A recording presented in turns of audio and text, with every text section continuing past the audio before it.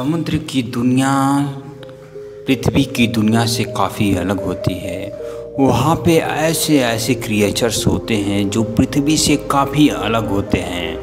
वहाँ पे रहने वाले जीव जो पृथ्वी पे कभी सरवाइव नहीं कर पाएँगे। ऐसा इसलिए होता है कि वहाँ पे प्रेशर और टेम्परेचर पृथ्वी के प्रेशर और टेम्परेचर से काफ़ी अलग होती है।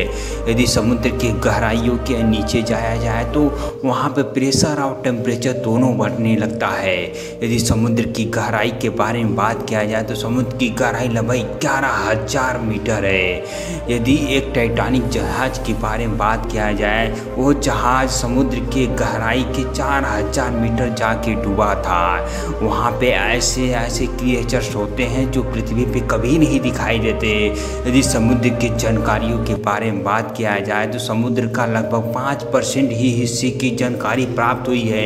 वहाँ पे वैज्ञानिकों ने बहुत सारा कोशिश किया, लेकिन ज़्यादातर जानकारी वहाँ पे समुद्र के गहराई के अंदर दिखाई नहीं पड़ती है। वहाँ का रहस्य काफ़ी अलग होता है। समुद्र के नीचे जाने पे वहाँ पे सूर्य की रोशनी धीरे धीरे घटने लगती है। दोस्तों, आपको समुद्र की गहराई के बारे में जानकारी कैसा लगा? कमेंट करके ज़रूर बताएँ। अगर वीडियो पसंद आया है तो लाइक, सब्सक्राइब, शेयर ज़रूर करें।